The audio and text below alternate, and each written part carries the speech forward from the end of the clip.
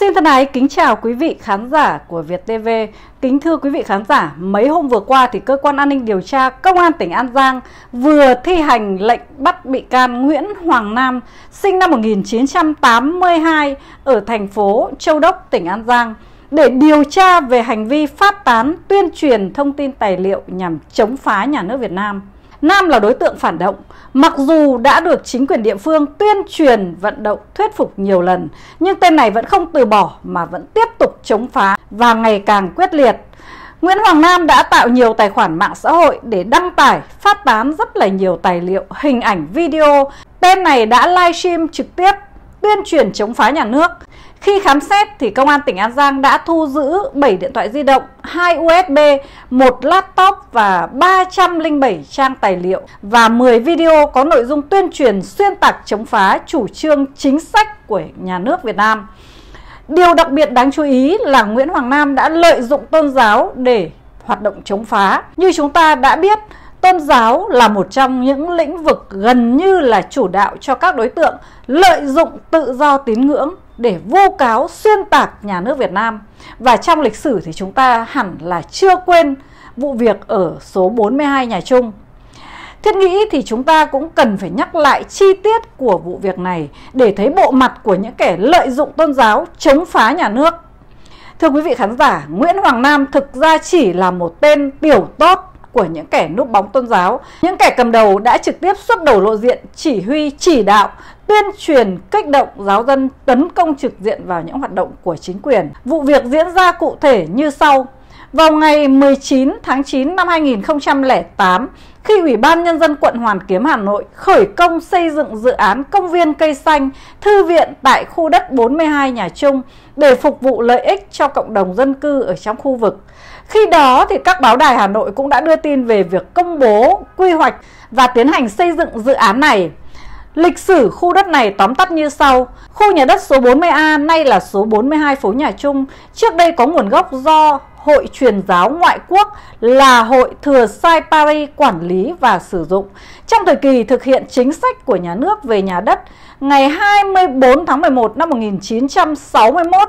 Linh Mục Nguyễn Tùng Cương lúc đó là quản lý tòa Tổng giám mục Hà Nội đã bàn giao cho nhà nước thống nhất quản lý. Khu đất này có diện tích là 6.940 m2. Liên tục từ đó đến nay khu nhà đất 42 nhà chung do Ủy ban Nhân dân quận Hoàn Kiếm quản lý sử dụng làm trụ sở cơ quan phòng văn hóa thể thao trung tâm thể dục nhà văn hóa quận quản lý. Tuy nhiên suốt từ năm 2001 đến nay thì tòa Tổng giám mục Hà Nội đã nhiều lần gửi đơn đòi lại khu đất này. Các cơ quan chức năng của thành phố Hà Nội, Bộ Xây dựng, Ủy ban Thường vụ Quốc hội cũng đã nhiều lần xem xét trả lời đơn kiến nghị của Tòa Tổng Giám mục Hà Nội, khẳng định không có cơ sở để trả lại đất cho Tòa Tổng Giám mục. Và như quý vị đã biết ở video lần trước thì Bảo Ngọc đã trình bày rất là chi tiết về nguồn gốc của cái lô đất số 42 nhà Chung Nhưng thưa quý vị là bất chấp những cơ sở pháp lý rõ ràng thì Tòa Tổng Giám mục Hà Nội vẫn không từ bỏ ý đồ đòi đất. Ngày 15 tháng 12 năm 2007, Tổng giám mục Ngô Quang Kiệt phát tán trên một số trang thông tin điện tử nước ngoài bức thư có nội dung kêu gọi linh mục, tu sĩ, chúng sinh và giáo dân Tổng giáo phận Hà Nội cầu nguyện và kích động việc đòi lại đất tại 42 nhà chung.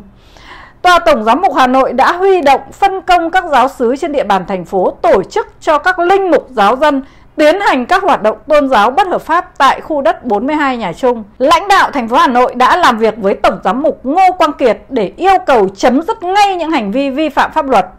Tuy nhiên vào khoảng 11 giờ 30 ngày 25 tháng 1 năm 2008,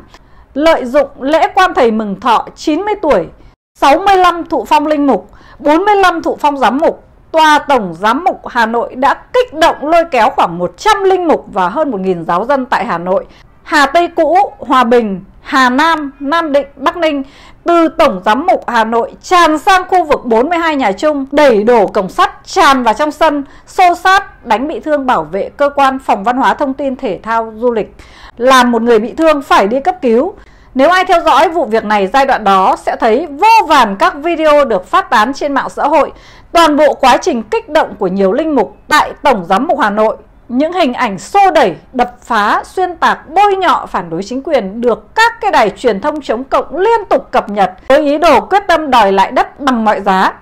Và thưa quý vị là Tòa Tổng Giám mục Hà Nội còn gửi văn bản kêu cứu khẩn cấp lên Chủ tịch nước, Thủ tướng Chính phủ. Tuy nhiên đề văn bản là đơn khiếu nại khẩn cấp, nhưng nội dung xuyên tạc sự thật, vu cáo chính quyền, phong tỏa Tổng Giám mục Hà Nội vu cáo chính quyền sử dụng các lực lượng vũ trang để hỗ trợ cho việc phá hoại tài sản của Tòa Giám mục.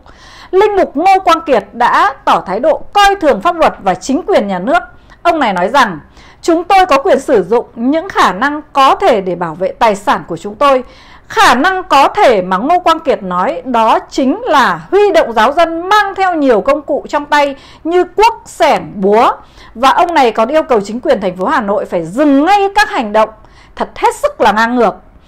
Dạ vâng thưa quý vị là ngay sau đó thì Tòa Tổng Giám mục Hà Nội đã chỉ đạo bố trí loa với công suất cực lớn từ nhà thờ lớn chĩa ra khu đất 42 nhà chung và địa bàn dân cư khu vực xung quanh để phát thanh nội dung đơn khiếu nại và những nội dung khác thể hiện sự coi thường pháp luật, không cho các lực lượng chức năng xây dựng thư viện và công viên cây xanh. Có thể khẳng định là vụ việc gây rối chống đối chính quyền này là do cá nhân Tổng Giám mục Ngô Quang Kiệt chỉ đạo và có sự phối hợp chặt chẽ với các giáo sứ phận ở nhiều địa phương khác. Mục đích kêu gọi giáo dân ra cầu nguyện trái phép để tạo hiệu ứng đòi đất, có nguồn gốc tôn giáo ở nhiều địa phương khác trong cả nước, chứ không riêng gì ở 42 nhà chung. Đây là một thủ đoạn hết sức là thâm độc và tinh vi. Nó đã gây mất ổn định an ninh trật tự, xã hội nghiêm trọng. Thưa quý vị là mặc dù thành phố Hà Nội đã rất nhân nhượng đối với tòa giám mục Hà Nội, bằng cách là đã đưa ra ba khu đất khác để tòa tổng giám mục lựa chọn. Tuy nhiên, thiện chí của chính quyền đã bị tòa tổng giám mục Hà Nội khước từ. Cao trào gây bức xúc cho dư luận nhất là giai đoạn đó là việc kẻ khoác áo thầy tu Ngô Quang Kiệt, Tổng Giám mục Hà Nội khi được Ủy ban Nhân dân thành phố Hà Nội mời đối thoại để giải quyết vụ việc. Tay Ngô Quang Kiệt này đã nói một câu hết sức láo xược, thể hiện là một kẻ chối bỏ gốc rễ, hắn là người Việt Nam, chối bỏ truyền thống văn hóa của dân tộc Việt Nam. Ngô Quang Kiệt đã nói trong cuộc đối thoại với đại diện thành phố Hà Nội rằng Tôi rất là nhục nhã khi cầm cái hộ chiếu Việt Nam và kẻ không biết liêm sỉ này đã bị dư luận người dân cực lực phản đối và lên án. Và ngay sau khi Ngô Quang Kiệt có câu nói vô học như vậy thì đại diện thành phố Hà Nội, ông Nguyễn Thế Thảo đã nói Ông Tổng Giám mục khi phát biểu nên thận trọng Dù là Tổng Giám mục Hà Nội nhưng ông cũng là công dân Việt Nam Là công dân Việt Nam mà cảm thấy nhục nhã khi cầm hộ chiếu Việt Nam Thì liệu các giáo dân còn có thể đặt niềm tin vào một vị tổng giám mục như ông hay không. Những giáo dân đang bị Ngô Quang Kiệt kích động tụ tập cầu nguyện trái phép tại khu đất 42 nhà Trung sẽ nghĩ gì về chủ nhân đã chối bỏ niềm tự hào về quê hương đất nước Việt Nam? Thật ra thì chúng ta không lạ gì về tư tưởng của những kẻ như Ngô Quang Kiệt. Họ hận thù nhà nước, hận thù Đảng Cộng sản Việt Nam bởi chính Đảng Cộng sản Việt Nam đã tước đi cái quyền tự tung tự tác cái quyền làm tay sai cho thực dân Pháp rồi đến Mỹ. Thời chính quyền Ngô Đình Diệm mới dựng lên, những kẻ chức sắc của công giáo Việt Nam đều có quyền sinh quyền sát, can thiệp vào chính quyền ngụy quyền Sài Gòn, đàn áp các tôn giáo khác như là Cao Đài, Hòa Hảo, Giám mục Ngô Đình Thục, con chiên Ngô Đình Diệm có mối quan hệ sâu sắc với Tòa Thánh Vatican và các tòa tổng giám mục của Hoa Kỳ và Pháp. Qua cái vụ đòi đất phi lý của Tòa Giám mục Hà Nội số 42 Nhà Trung, chúng ta mới thấy sự phức tạp khi chính quyền giải quyết những công việc liên quan tới tôn giáo, nhất là công giáo. Sự mềm mỏng ôn hòa nhường nhịn có thể nói đã tới giới hạn cuối cùng của chính quyền. Trong khi các linh mục và nhiều giáo dân đã có những hành động hết sức là hung hãm như dùng búa đập phá cửa các cơ quan, dựng nhà bạt không sắt, dựng trái phép cả một cây thánh giá cao tới 5 mét trước cửa trụ sở cơ quan văn hóa và chôn chân trụ bằng gạch vữa xi măng. Với những cái tôn giáo khác chắc chắn không có chuyện như vậy. Nếu ai đã được xem video mà Linh Mục Ngô Quang Kiệt đối thoại với đại diện chính quyền thành phố Hà Nội sẽ thấy rõ điều đó. Những linh mục như Ngô Quang Kiệt luôn thể hiện sự coi thường những người là đại diện cho chính quyền, trong khi luật pháp ghi rõ về chính sách tôn giáo là bình đẳng. Mảnh đất số 42 nhà Trung hoàn toàn thuộc quyền quản lý của nhà nước. Ấy vậy mà Ngô Quang Kiệt đã công khai và ngang nhiên tấn công vào cơ quan quyền lực của chính quyền. Đây là một việc làm không thể chấp nhận được. Thời điểm đó không những nhóm linh mục ở Tòa Giám mục Hà Nội kích động đòi đất ở 42 nhà chung mà nó còn diễn ra ở một số nơi khác. Còn vô lý hơn nhiều, đó chính là giáo sứ Thái Hà dở trò đòi đất tại công ty cổ phần May Chiến Thắng. Khu đất này ở số 178 Nguyễn Lương Bằng, quận Đống Đa, Hà Nội. Và thưa quý vị là giáo sứ Thái Hà đã có những hành vi vi phạm luật nghiêm trọng khi phá tường rào chiếm đất của công ty cổ phần May Chiến Thắng. Những kẻ phá hoại này ngay sau đó đã bị bắt giữ và bị truy tố về tội hủy hoại tài sản, gây rối mất trật tự công cộng, và Ngô Quang Kiệt cũng đã liên tục công khai phát tán các cái bài phát biểu và trực tiếp đến khu đất của công ty cổ phần May Chiến Thắng để cùng với nhiều giáo sĩ, giáo dân cầu nguyện trái phép. Ngô Quang Kiệt đã đi thăm một số gia đình giáo dân, có người bị bắt. Tại đây, Ngô Quang Kiệt đã kích động ủng hộ, kêu gọi giáo dân cả nước tất cả các địa phương khác tập trung người tại giáo sứ Thái Hà nhằm gây áp lực với chính quyền đòi lại đất. Qua đó để tạo dư luận tác động quay trở lại việc đòi đất tại 42 nhà chung. Tất cả các thông tin của Ngô Quang Kiệt đều được báo chí và các trang web phản động cùng các cái thế lực thù địch ở nước ngoài đồng loạt đưa tin bóp méo sự thật, xuyên tạc vu khống chính quyền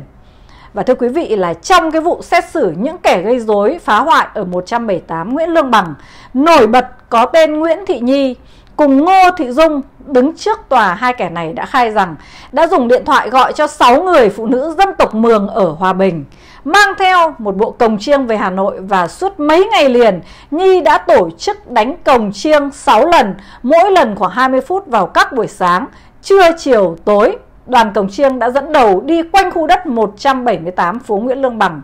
Phía sau là các giáo dân đi theo đọc kinh cầu nguyện.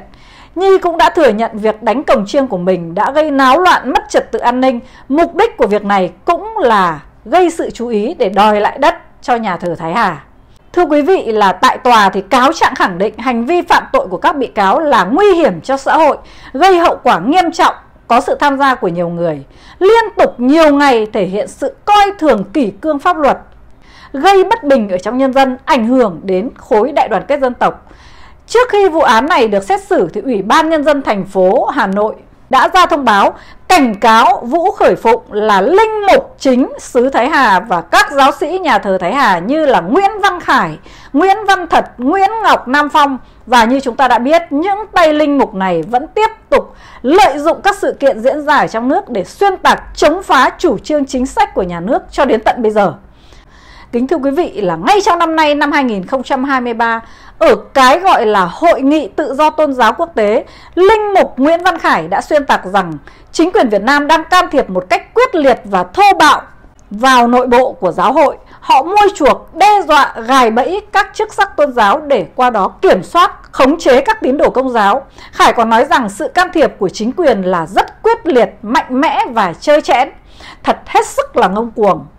Nguyễn Văn Khải lo chống chính quyền, chống cộng sản hơn là lo cho giáo dân. Sự lố bịch của Nguyễn Văn Khải và Hội nghị Tự do Tôn giáo Quốc tế Việt Nam này ở chỗ họ bảo vệ cho những kẻ vi phạm pháp luật ở Thiền Am bên bờ vũ trụ. Những kẻ này còn vu khống Việt Nam vi phạm tự do tôn giáo, vi phạm các quyền trẻ em và quyền của người lớn tuổi. Ý nói là thầy ông nội trong thiền am bên bờ vũ trụ Trong khi vụ án thiền am bên bờ vũ trụ đã được xét xử với những cái tội danh Được quy định trong bộ luật tố tụng hình sự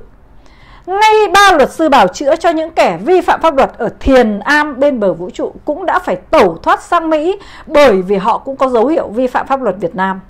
Gần đây nhất là khi Việt Nam đồng ý cho Tòa Thánh Vatican có đại diện ở Việt Nam, Nguyễn Văn Khải cũng ngay lập tức có những phát biểu yêu cầu đòi hỏi nhà nước Việt Nam trả lại khu đất nhà nước đã quản lý trên khắp cả nước mà Tây Linh Mục Khải này vẫn nói đó là của giáo hội. Đối với những người như Nguyễn Văn Khải, hắn ta chỉ muốn công giáo đứng trên pháp luật Việt Nam. Những kẻ này chỉ dựa theo luật của Mỹ, của Pháp, của Vatican mà thôi. Kính thưa quý vị, vụ việc ở số 42 Nhà Trung và 178 Nguyễn Lương Bằng tuy đã được khép lại nhưng chắc chắn nó sẽ là bài học cho chính quyền trong việc quản lý đất đai, cảnh giác trước mưu đồ của những kẻ lợi dụng tôn giáo, gây rối chống phá chủ trương chính sách của nhà nước. Mềm mỏng và nhân văn nhưng cương quyết, kịp thời đúng lúc là cực kỳ cần thiết để thể hiện kỷ cương phép nước, trừng trị bất kể cá nhân tổ chức nào nếu vi phạm pháp luật Việt Nam. Chỉ có như vậy tình hình an ninh trật tự, an ninh chính trị mới được ổn định, đất nước mới được bình yên. Kính thưa quý vị khán giả, hôm nay một lần nữa Bảo Ngọc xin nhắc lại câu chuyện số 42 nhà Trung. Rất mong quý vị hãy để lại những bình luận của mình ở dưới video này. Xin chân thành cảm ơn và xin hẹn gặp lại quý vị ở trong các chương trình sau. Thân ái kính chào quý vị khán giả của Việt TV.